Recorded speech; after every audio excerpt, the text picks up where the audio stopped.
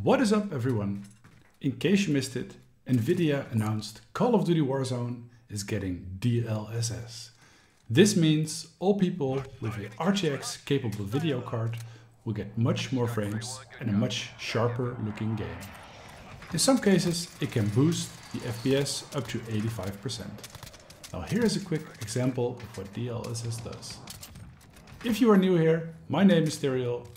I do benchmark, gaming comparison videos. So smash that like button or subscribe to the channel.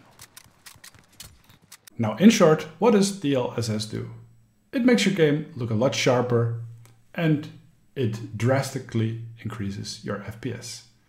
Now look at the text on the wall and just look over here. Look what it does. Basically, it makes 1080p look like 1440p and then will make 1440p look like 4K or even better.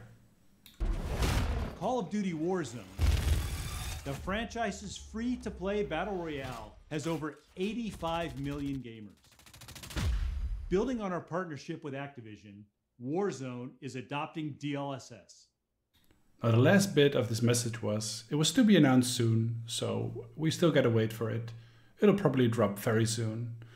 And thank you all for watching. Peace out.